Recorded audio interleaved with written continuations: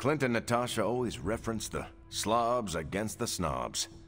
Never understood what it meant. Until recently, it could have been the Midnight Suns against the Avengers.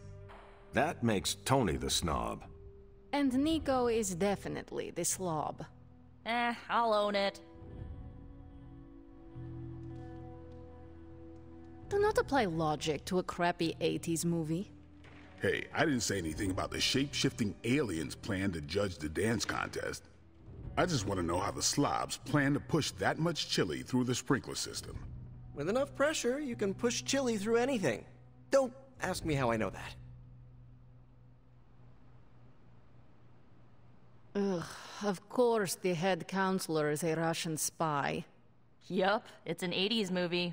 How much did Soviet Russia care about teen hijinks? More than you think. Now that's a dance contest. Okay, I see the appeal. Ah, it's magical. Magic is the one thing this movie didn't have. But you liked it anyway because it is heartwarming pablum. Maybe.